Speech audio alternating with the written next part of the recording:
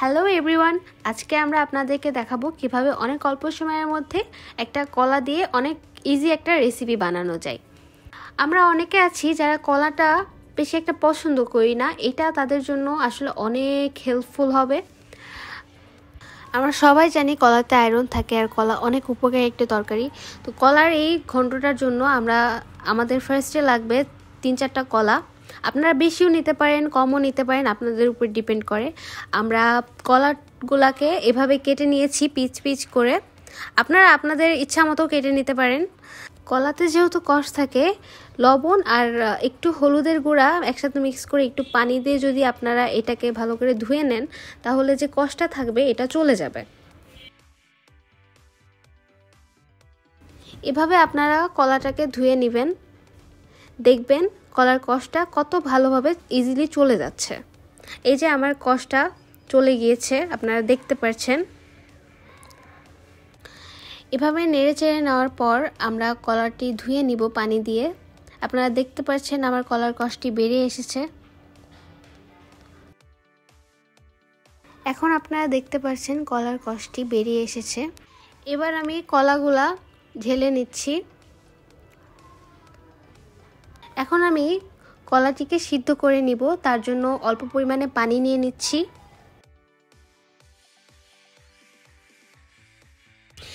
এবার আমার কেটে রাখা মরিচের টুকরাগুলা এক এক করে দিয়ে দিব।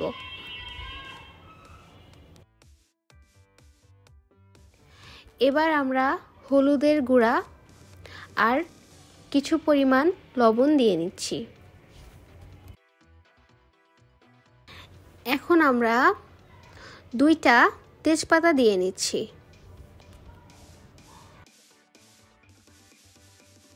কলাটি যাতে ভালোভাবে সিদ্ধ হয়ে যায়, তার জন্য আমরা ঢেকে দিব। আপনারাও একই প্রসেসে রান্না করবেন। কিছুক্ষণ না নাড়াচাড়ার পর আমরা কলাটি দেখতে পাচ্ছি সিদ্ধ হয়ে এসেছে।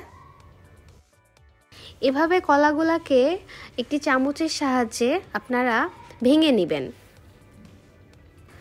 আপনারাও ঠিক একইভাবে করবেন।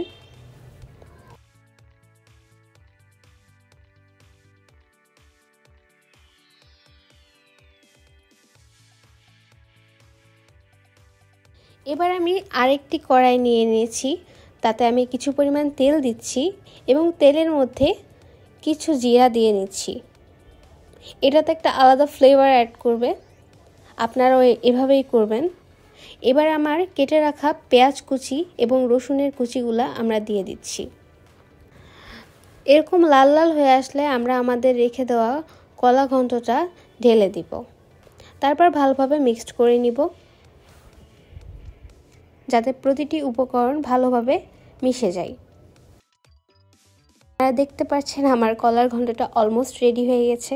যারা কলা পছন্দ করে না, তারা তো অবশ্যই এটা ট্রাই করবেন। তারপর আশা করি আপনাদের কলা অনেক ভালো লাগবে খেতে। আজকের ভিডিও এই পর্যন্তই।